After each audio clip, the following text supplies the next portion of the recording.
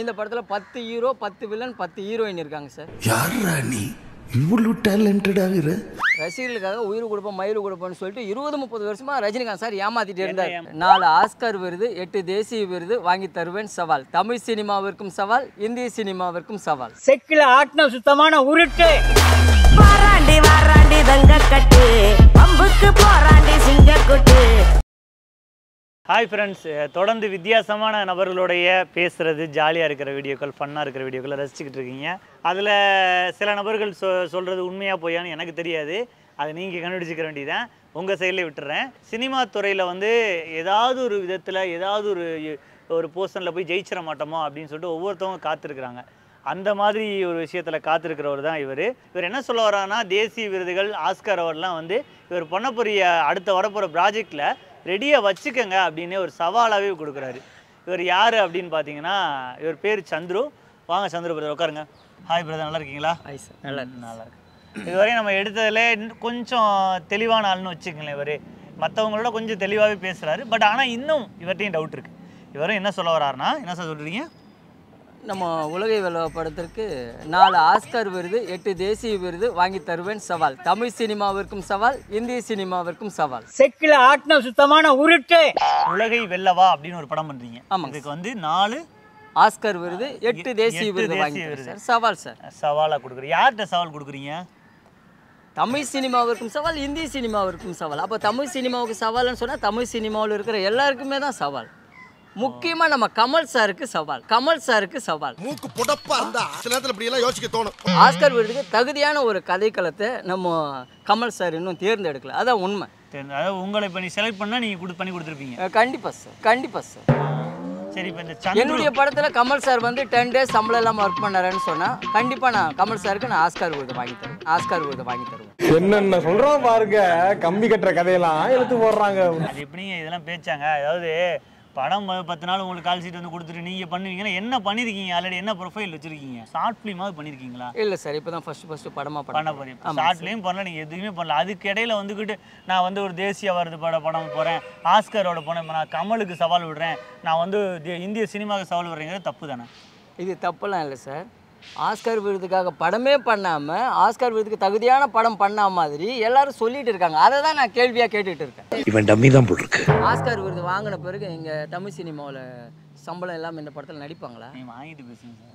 வாங்கின பிறகு யூஸ் இல்லை சார். சார் பக்கத்து கடையில் அல்வா வாங்கின பிறகு எந்த யூஸ் இல்லை. நான் என்ன சொல்றேன்னா முதல்ல நான் ஒரு ரெண்டு ஊரில் ஒரு படம் பண்றேன். அந்த படத்துக்கு அஞ்சு தேசிய விருது வாங்கி தரேன் அந்த படத்துக்கு அஞ்சு தேசிய விருது வாங்கி கொடுத்த பிறகு நம்ம தமிழ் சினிமாவில் இருக்கிற ஒட்டுமொத்த நடிகர்களும் பத்து ஒரு கோடிக்கு மேல சம்பளம் வாங்குற ஒட்டுமொத்த நடிகர்களும் அஞ்சு லட்சம் ரூபாய் பத்து லட்சம் ரூபாய் ஆதங்கம். அதாவது வாய்ப்பு இல்லாம நிறைய இது பண்ணிட்டோம். நம்ம நமக்கு ஒரு வாய்ப்பு கிடைக்கலைங்கிற ஒரு ஆதங்கம். சார் இது. ஆதங்கமெல்லாம் கிடையாது. தமிழ் சினிமாவில் இருக்கிற நடிகருங்க வந்துட்டு தமிழ்நாட்டு மக்களுக்கு என்ன பண்றாங்கன்னு சொன்னா உயிரை கொடுக்குறேன் மயிரை கொடுக்குறேன்னு சொல்லி தமிழ்நாட்டு மக்களை ஏமாத்தி குட்டிச்சோறு ஆக்கி வச்சிருக்காங்க. யாரை சொல்றீங்க? ஏன் சார்? ரசிகர்களுக்காக உயிர் கொடுப்போம் மயிர் கொடுப்போம்னு சொல்லிட்டு இருபது முப்பது வருஷமா ரஜினிகாந்த் சார் ஏமாத்திட்டு இருந்தார். ஏமாத்தினார்? அவர் எவ்வளவு உதவிகள் பண்ணிருக்காரு தெரியுமா? அவர் ஏன் சார்? நீங்க வந்து நூறு நூத்தி ஐம்பது கோடி கிட்ட சம்பளம் வாங்கிட்டு சும்மா பிச்சையை தூக்கி போற மாதிரி நாலு கோடி அஞ்சு கோடி செலவு நூத்தம்பது நூத்தம்பது கோடி வாங்கினா என்ன ஏன் சார்? நீங்க நூத்தம்பது கோடி சம்பளம் வாங்கினா என்ன செய்வீங்க சார் என்னுடைய வருமானத்துல என்னுடைய சம்பளத்துல சரி பாதி இயக்குனர் சங்கத்திற்கும் கண் பார்வையில்லாதவங்களுக்கு நான் எழுதி வைக்கிறேன் சார். நோய் என்ன நீ பைத்தியக்காரனவே நினைச்சிருக்கிறல்ல நீ?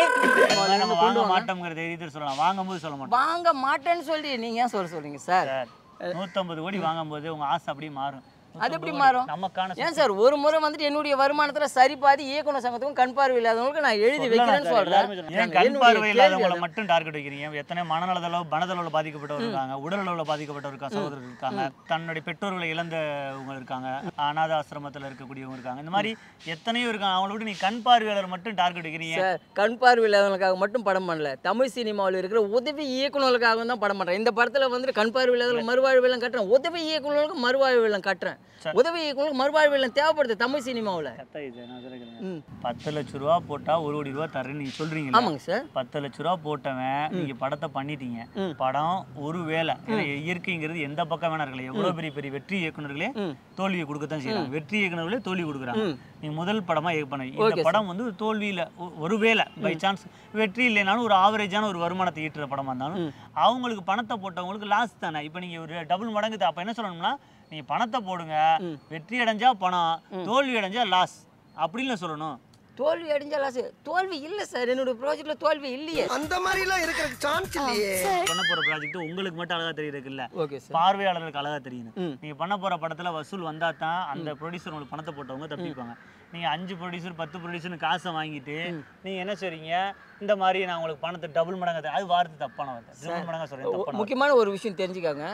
அவங்க முதலீடு இன்வெஸ்ட்மெண்ட் பண்ண போகிறாங்க இன்வெஸ்ட்மெண்ட் பண்ண போகிறாங்க லாபம் வந்தால் பத்து மடங்கு எடுத்துகிட்டு போகிறோம் லாபம் வரலன்னா முதலீடு எடுத்துகிட்டு போக போகிறாங்க இதுதானே ரீசன் எப்படி இருக்க முடியும். பணமே ஓடலைன்னா அப்படி முதலீடு சார் ஒரு விஷயம் தெரிஞ்சுக்காங்க. படம் ஓடுமன்றது என்னுடைய வேலை. படம் படத்தை ஓட வைக்க வேண்டியது என்னுடைய வேலை. தரமான படத்தை கொடுக்க வேண்டியது என்னுடைய வேலை. அது பிஸ்னஸ் கொண்டு போக வேண்டியது என்னுடைய வேலை. ஓகேவா அவங்க போட்ட முதலீடு ஏற்கனவே பண்ண நீங்க ப்ராஜெக்ட்டை காட்டணும்ல இப்படி நான் பண்ணிருக்கேன். ஒரு பெரிய லெவல்ல ஷார்ட் ஃபிலிம் என்கிட்ட இருக்கிற தரத்தை தெரிஞ்சுக்கிட்டு தான் ப்ரொடியூசர் உள்ள வராங்க. என்ன தரம்?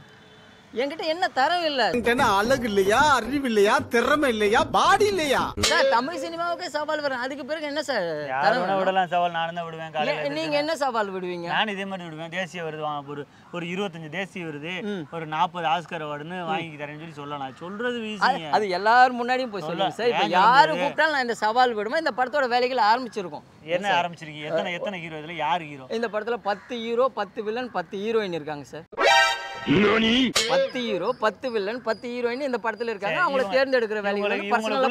ஒரு ஒரு வார்த்தை ஒரு கதைக்காலம் வந்து என் கண்ட்ரோல்ல இருக்கு? அதான் அவங்க எப்படின்னு கேட்கறதுக்குள்ள படம் எப்படி? சொல்றேன். ஒரு மூணு மூணு வார்த்தை பேசினாலே கிட்டத்தட்ட ரெண்டரை மணி நேரம் போயிருமாங்க? என்னுடைய கண்ட்ரோல்ல படம் இருக்கு சார் கதைக்கெல்லாம் என்னுடைய கண்ட்ரோல்ல இருக்கு. அவங்கள? வந்துட்டு ஏன் ரெண்டே? சாங் தான் சார். அந்த பத்து ஹீரோ பத்து வில்லன் பத்து ஹீரோயினுக்கு சாங் கிடையாது. பத்து வில்லன் ஒரு ஒரு ஃபைட் வச்சாலே முடிஞ்சாங்க ஒரு காக்கா ஃபைட் வச்சாலே முடிஞ்சு வச்சுங்க ஏன் சார் ஒரு ஃபைட் வச்சா மூணு நிமிஷம் தான் வைக்க முடியும். அவ எத்தனை ஃபைட் வைக்க போறீங்க? எத்தனை படத்துல இருபது ஃபைட் இருக்கு சார். இருபது ஃபைட்டா ஆமாங்க சார். ஐயோ படத்தை. மிஞ்சிரும் போல இருக்கு. இது வந்து ஹாலிவுட் தரத்துல தான் அந்த ஹாலிவுட் ஃபைட் எல்லாம் அந்த ஃபைட் எல்லாம் ஹாலிவுட் தரத்துல தான் இவன் மண்டை குழம்பி மெண்டலாகி வந்திருக்கானா? இல்ல போர் அடிக்குதுன்னு டைம் பாசிங் பண்றானா? இப்போ வந்து உங்க கதைக்கெல்லாம் வித்தியாசமா இருக்க போகுது. ஆமாங்க சார். என்ன மாதிரி கதைக்களத்துல கொண்டு போக போறீங்க? அஹ் கதைக்களை நான் சொல்லவா சார்? சொல்லுங்க கதைக்களம் தான் கேட்குறேன் இந்த உலகை வெல்லவா படத்துல இந்த உலகை வெல்லவா படத்தோட கதைக்களை நான் சொல்றேன். அதைத்தான் ஏற்கனவே சொன்னீங்க. அதான் கதைக்களம் சொல்ல போறேன்னு சொல்லுங்க. உலகை வெல்லவா படத்தோட கதைக்களை நான் சொல்றேன். அதைத்தான் சொல்லுங்க. கதைக்களம் திருப்பி திருப்பி அதே சொல்லி இந்த படத்துல வந்துட்டு ஒரு அஞ்சு ஏக்கர்ல நாங்க விவசாயம் பண்ண போறோம் சார் ரியலா அஞ்சு ஏக்கர்ல? அஞ்சு ஏக்கர்ல விவசாயம் பண்ண போறோம். ரியலா விவசாயம் பண்ண போறோம். விவசாயம் பண்ணிட்டே இருக்க போறீங்க அது அங்க ப்ரொடியூசர் வந்து தெருவுல சார் விவசாயம் ஓடிட்டு புல்டேசர் ஓடிட்டு இருப்பாரு. நீ கேட்ட ஒவ்வொரு கேள்வி என்ன செருப்பால் அடிச்ச மாதிரி இருக்குடா. அப்ப அதாவது நீங்க வந்து படம் எடுக்க போறங்கிற பேர்ல அஞ்சு ஏக்கர்ல வந்து இடத்த வாங்குறீங்க உங்க பேர்ல புக் பண்றீங்க. கரெக்டா கட்டுவிட்டா? ஏன் பேர்ல இல்ல சார். அஞ்சு ஏக்கர் வந்து ரெண்டலுக்கு வாங்கி தான் நாங்க விவசாயம் வாடகைக்கு எடுத்து விவசாயம் பண்ண போறீங்க? விவசாயம் பண்றோம். ஒரு அஞ்சு ஏக்கர்ல வந்துட்டு இந்த கண் பார்வை இல்லாதவங்க விவசாயம் பண்ண போறாங்க. பாடுறா ஆ. கண் பார்வை இல்லாதவங்க விவசாயம் இல்லாதவங்க விவசாயம் பண்றது சரி. நீங்க என்ன பண்ண போறீங்க அதுல? இருங்க சார். அந்த கண் பார்வை இல்லாதவங்க விவசாயம் பண்ண போறாங்க. திருநங்கைகள் விவசாயம் பண்ண போறாங்க. சரி. கண் பார்வை இல்லாதவங்க விவசாயம் பண்ண போறாங்க. கண் பார்வை இல்லாதவங்க அந்த கை கால் இல்லாதவங்களாம் விவசாயம் பண்ண போறாங்க. கண் பார்வை இல்லாதவங்களும் திருநங்கைகளையும் கை கால் இல்லாதவங்களையும் வச்சு அந்த விவசாயம் முடிச்ச பிறகு அது ஒரு டாக்குமெண்ட்ரி மூவி ஆக்கி முதல்வருடைய பார்வைக்கு கொண்டு போயிட்டு அவங்க கிட்ட வந்து ஒரு அன்பளிப்பு வாங்குறோம் சரி. அன்பளிப்பு வாங்க படத்துக்குள்ள ஒரு நாற்பது நிமிஷம் சார். நாற்பது நிமிஷம். ஆமாங்க சார். சரி. அடுத்தது ஒரு இருபது நிமிஷம். நம்ம தமிழ் சினிமாவில் உதவி இயக்குநர்களுக்கு மறுவாழ்வுலாம் கட்டுறேன் சார். அதுக்குள்ளேயே படத்துக்குள்ளே. ஆமாங்க சார் அது ஒரு டாக்குமெண்ட்ரி மூவி ஒரு இருபது நிமிஷத்தில் அது ஒரு டாக்குமெண்ட்ரி மூவி படத்துக்குள்ளேயே இருக்கு. எப்படி இப்ப தியேட்டர்ல உட்காந்து பார்ப்பாங்க எல்லாரும்? அது வந்து என்னுடைய ஸ்க்ரீன் பிளே சார். ரசனையாக கொண்டு போக வேண்டியது என்னுடைய வேலை சார். அந்த உதவி இயக்குநருக்கு மறுவாழ்வுலாம் காட்டின பிறகு அந்த டாக்குமெண்ட்ரி அது திரைப்பட பண்ண பிறகு அந்த டாக்குமெண்ட்ரி மூவியை மறுபடியும் முதல்வருடைய பார்வைக்கு கொண்டு போயிட்டு அன்பளிப்பு வாங்குற மாதிரி. வேற வேலையே இல்ல. உங்ககிட்ட வந்து ஒவ்வொன்றையும் டாக்குமெண்ட்ரி வாங்கி அன்பளிப்பு இல்லை சார். வேலை இல்லைன்னு ஆயிரம் ஃபர்ஸ்ட் எவ்வளவு அன்பளிப்பு கொடுக்குறாரு? சார் அவர் ஒரு ரூபாய் அன்பளிப்பு கொடுத்தாலும் நல்ல விஷயம் தானே? இல்ல இல்ல கரெக்டா சொல்லணும். இந்த காமெடி சொல்ல கொடுக்குறாரு. ஃபஸ்ட்டு டாக்குமெண்ட்ரி மூவி பண்ணுனதுக்கு எவ்வளோ அன்பளிப்பு கொடுத்தாரு? கதைப்படி. இல்லை சார் அது அது வந்துட்டு படத்துக்குள்ள தான் இருக்கு. ஏன்னா ஒரு ஒரு ரூபாய் கொடுத்தாலும் கொடுத்தாரு? கதையில எவ்வளவு கொடுத்தாரு? ஏன் சார் படத்தை நம்ம எடுக்க போறோம். எடுத்து முடிச்ச பிறகு அவர் வந்து ஒரு ரூபாய் அன்பளிப்பு கொடுக்கறது படத்துக்குள்ள தானங்க நீங்க கொடுக்க போறீங்க. அந்த படத்துக்குள்ள எவ்வளவு கொடுத்தாரு அன்பளிப்பு? ஃபர்ஸ்ட் திருத்தோன்னே சார் படத்து படத்தை நம்ம எடுத்து முடிச்ச பிறகு தான் நம்ம வந்து டாக்குமெண்ட்ரி மூவியை முதலுடைய பார்வைக்கு கொண்டு போறோம். அப்ப எவ்வளவு கொடுக்குற? ஃபர்ஸ்ட் படத்துக்கு? அவருக்கு கொடுக்கறத கொடுக்கட்டும். அவர் வந்து ஒரு ரூபாய் கொடுத்தாலும் நல்ல கொடுக்கறத? கொடுக்கணும்னு சொல்லிடுவீங்க ஸ்கிரீன் பிளேல ஆமா. யார் என்ன கொடுத்தாலும் காட்ட மாட்டீங்க அது எவ்வளவு கொடுத்தாருன்றது அது ப்ரூஃபோட காட்டுவோம்ல. எவ்வளவு கொடுத்தாரு? கொடுக்கறத நம்ம காட்ட போறோம். அதான் நீங்க தானே எழுதுனது. இவ்வளவு ரூபா பத்தாயிரம் ரூபா கொடுத்தாரு ஐயாயிரம் கொடுத்து நீங்க எழுதுனீங்க. ஒரு ரூபாய் கொடுத்தாலும் அதை நான் காட்டுவோம் சார். டேய் இவன் வேற என்னை ரொம்ப டார்ச்சர் பண்றான்டா. இந்த குழப்பாதிய ம். நீங்க ஒரு கதையை எழுதிருக்கீங்க.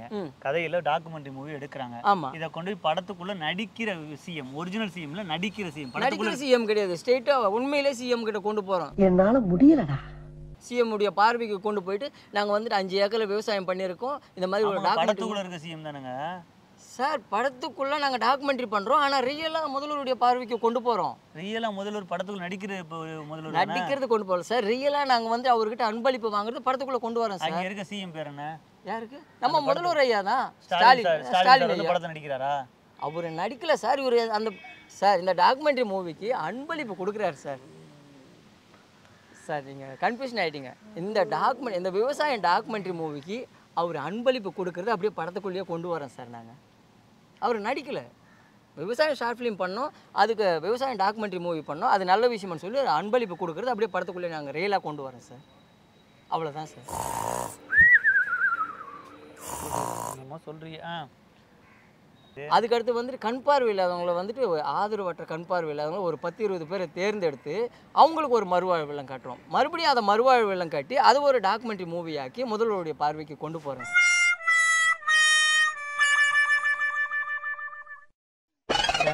முதல்வர்கிட்ட அன்பளிப்பு வாங்குறது இந்த படத்துக்குள்ள கதை களமாற்றம் சரி அப்ப அந்த பத்து ஹீரோயின் பத்து ஹீரோக்கள் சார் இன்னொரு டாக்குமெண்ட்ரி மூவி மறந்துட்டீங்க சார் இன்னொரு டாக்குமெண்ட்ரி மூவி இருக்கு? சார். நம்ம முன்னாள் முதல்வர் கலைஞர் ஐயாவுக்கு வந்துட்டு ஒரு ஆறு அடியில் கல் வாங்கி அதுக்கு ஒரு சிலை செய்கிறோம் சார் கலைஞர் ஐயாவுக்கு ஒரு சிலை செய்கிறோம் அந்த சிலை சிற்பிகள் வந்து செதுக்கிட்டே இருக்காங்க. அந்த டாக்குமெண்ட்ரி மூவியில் சிற்பிகள் வந்து சிலை செதுக்கிட்டே இருக்காங்க செதுக்கிட்டே இருக்காங்க. கடைசியில் அந்த அஹ், கலைஞர் கண்ணு திறக்கிற நாள் வந்துட்டு திருப்புழா வச்சு கண்ணு திறந்து அது ஒரு டாக்குமெண்ட்ரி மூவி ஆக்கி மறுபடியும் முதல்வர் முதல்வருடைய பார்வைக்கு கொண்டு போயிட்டு